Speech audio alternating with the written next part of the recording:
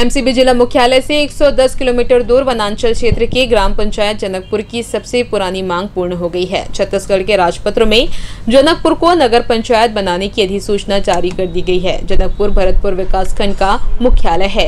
इस ग्राम पंचायत की जनसंख्या 4,800 के ऊपर है। विकासखंड के सभी कार्यालय यहाँ होने के कारण इसे नगर पंचायत की मांग लगातार की जा रही थी जिसकी घोषणा मुख्यमंत्री भूपेश बघेल ने कर दी है।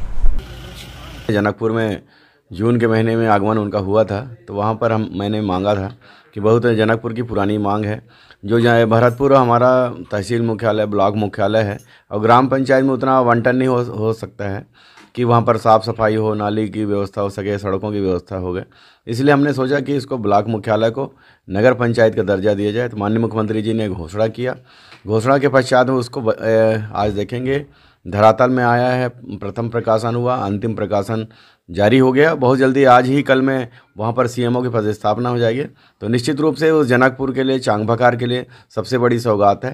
बहुत बहुत आभार व्यक्त करते हैं अपने क्षेत्र के विधायक सम्मानीय गुलाब कमरो जी का, अपने यहाँ के मुख्यमंत्री सम्मानीय भूपेश बघेल जी का उन्होंने हमारी इस समस्या को समझा और इसका निदान किया। जब उन्होंने वो बहरासी में भेंट मुलाकात के कार्यक्रम में आए थे माननीय मुख्यमंत्री जी तो उन्होंने वहाँ से घोषणा की थी कि आने वाले समय में जनकपुर नगर पंचायत बनेगा।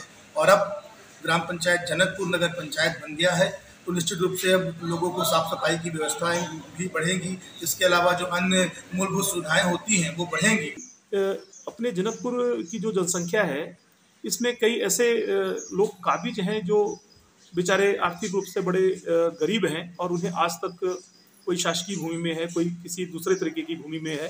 तो शासन के द्वारा कभी कभी इनके खिलाफ कार्यवाही तय करने का प्रयास किया जाता है।